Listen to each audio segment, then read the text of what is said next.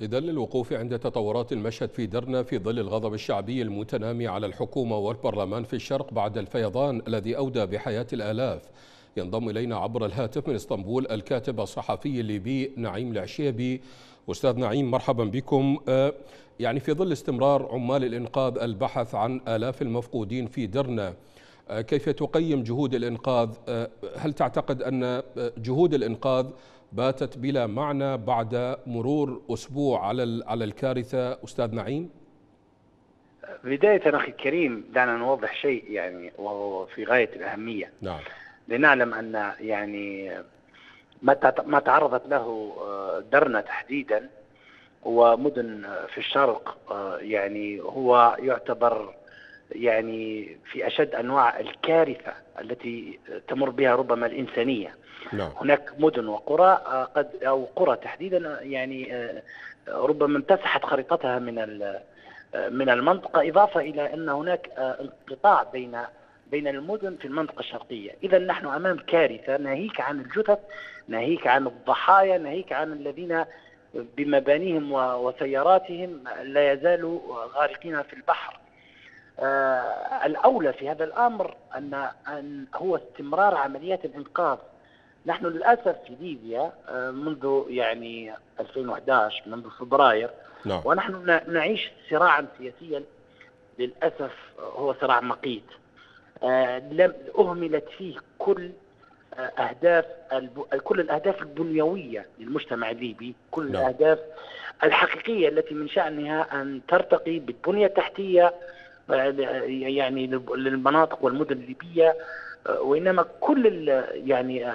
كل ربما الميزانيات للأسف شديد وكذا وزعت على أو أو ركزت على التنازع السياسي ومحاولة الكسب السياسي ومحاولة الارتقاء بطرف دون طرف وبالتالي عاشت ليبيا طيلة هذه طيلة هذا العقد يعني حالة من الصراع نعم. أو حالة من الاقتتال اليوم نمر بكارثة حقيقية يجب على الليبيين أن يكونوا عند يقظة هذا الأمر اليوم عندما آه، يعني نرى آه، يعني خروج الناس نعم. يعني بالطبيعي مدينة ثلث سكانها يعني قد أبيد يعني ناهيك عن الذي لا يزالون مفقودين يعني فبالطبيعي تكون يعني الخروج ربما نستطيع قد يكون هناك يعني موجه يعني آه، يعني مكر سياسي قد يكون هناك توجيه سياسي ولكن الأساس في خروج الناس هو أساس يعني ناس مكلومين ناس يعني كتيبات عائلة عائلات أبيد يعني عائلات انتهت يعني أصبحت في عداد الموتى.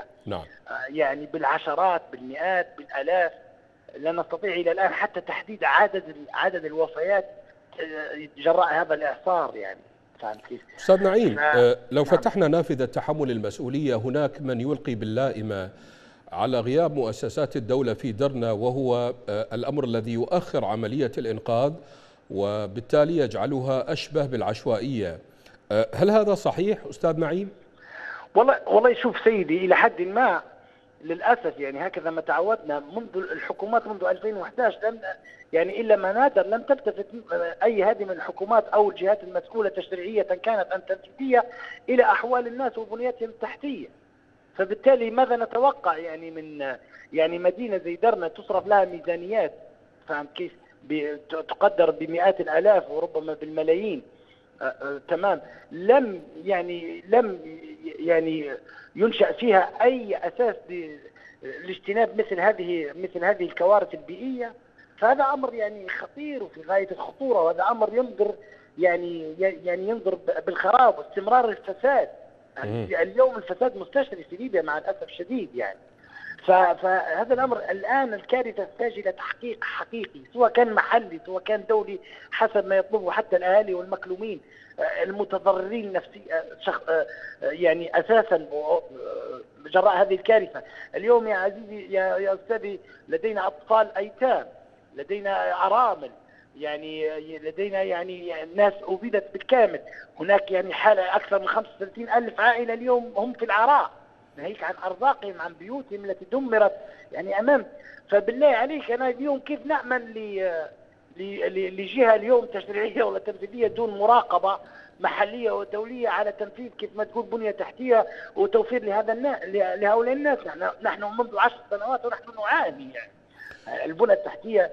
يعني ممكن الفترة الأخيرة بدأت نوع ما من محاولة إعمار ولكن صراحة حتى أكون معك واضحا لا ترتقي إلى حد المستوى. أه، ولكن أه، أه، أستاذ نعيم حتى نكون منصفين هناك من يحمل معمر القذافي في موضوع تردي البنية التحتية. معمر القذافي انتهى حكمه أكثر من 12 عاما خلت كيف تنظرون إلى إلى ذلك آه، شوف سيدي يعني إذا سلمنا بين النظام السابق وهذا بالفعل كانت هناك يعني تردي بنية تحتية سوق خدمات ما إلى ذلك نعم. ولكن أنت أنت اليوم بدل مع بدل نظام القذافي فماذا قدمت؟ انت لك نحن الآن نمر يعني يعني فتنا فتنا العشر سنوات أو يزيد من من فبراير. ماذا قدمنا؟ إلا الصراع والتنازع وعدم مراعاة حقوق الليبيين. يعني ماذا قدمنا؟ معلش ماذا قدمت؟ ماذا قدم ماذا قدمت هذه الجهات المسؤولة وهذه الحكومات وهذه الجهات التشريعية للشعب الليبي؟ هذا السؤال الذي يطرح نفسه. وهذا السؤال الذي من حق المواطن أن تجيب عليه. وهذا السؤال الحقيقي الذي يجب أن يفتح فيه تحقيق حقيقي لنعرف مكان من هذا الإهمال من أين؟ وهذه الميزانيات المهولة التي صرفت أين ذهبت؟ أستاذ نعيم أستاذ نعيم اليوم اليوم استثمر أستثمر وجودكم معنا. بعد بعد إذنك اليوم يا عزيزي نعم. سقطت ورقة التوت عن الجميع. اليوم سقطت ورقة التوت عن الجميع. يجب أن يكون هناك وعي حقيقي من أبناء الشعب الليبي للمطالبة والمحاسبة أين ومن هو وراء الخلل الحقيقي. اليوم نجد جهات تشريعية نجد مؤسسة عسكرية في الشرق والغرب ونجد حكومات في الشرق والغرب ونجد مجلس أعلى ومجلس نواب ونجد عمداء بلديات. طيب لا تقنعني بأن هؤلاء يعني موجودين على كراسيين بدون أي ميزانيات. مستحيل. اليوم صرفت أموال. أين ذهبت هذه الأموال في حق هؤلاء الناس؟ في حق هؤلاء الشعب؟ في حق هؤلاء هذه المدن. أنا السؤال يطرح نفسه وهنا السؤال الذي يجب أن تكون هناك يعني نظرة حقيقية وجادة لأن نعم. الأمر أصبح كارثي فعلا بخصوص ليبيا و يعني وأمر سيء يعني ما ما أساء الجميع يعني من إسطنبول الكاتب الصحفي الليبي نعيم العشيبي شكرا جزيلا لكم